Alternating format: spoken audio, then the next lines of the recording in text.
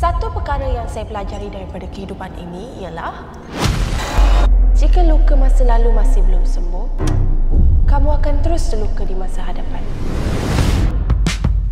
Is this a bad day? Right along, right along, there's a place where you belong. Better check.